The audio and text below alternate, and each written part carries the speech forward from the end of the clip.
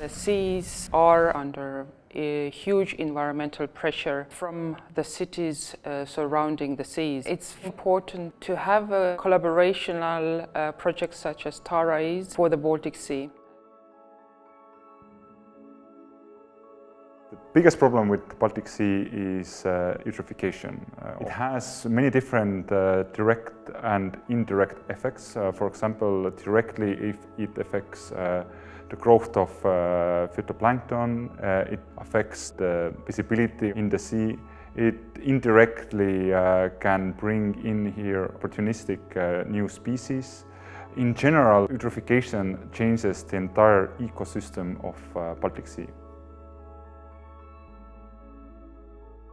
L'eutrophisation, en fait, c'est un phénomène euh, biologique qui arrive quand euh, il y a trop de nutriments qui sont apportés euh, aux organismes.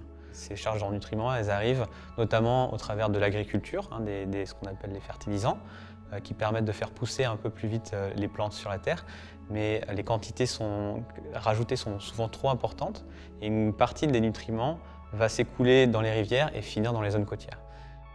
En fonction des différentes régions, il peut y avoir différents phytoplanctons qui ont tendance à être favorisés. Ici en Baltique, ce qui est vraiment caractéristique, c'est effectivement les, cyanobactéries fixatrices d'azote. Quand on arrivait, hein, d'ailleurs euh, avec le bateau Tara, on, les a vus, on pouvait les voir à, l'œil nu. Ça forme ce qu'on appelle des blooms, des efflorescences très très importantes.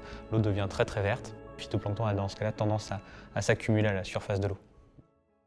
This is one of the bays we are going, which is Copley Bay, uh, and this is also one of the sampling sites. And this is a good example of if we want to improve the, the situation in, in Baltic Sea, we can do it. It used to uh, be a fairly polluted bay uh, because uh, right here uh, next to the bay, um, uh, those uh, big blue buildings we see in the, in, the, in the distance, they are wastewater cleaning facilities and of course some of the wastewater was ending up also in the, in the sea. But now in the in the last decades, we have uh, managed to invest into the, the, wastewater facilities. The water has become much clearer, and that definitely has helped also uh, the bay.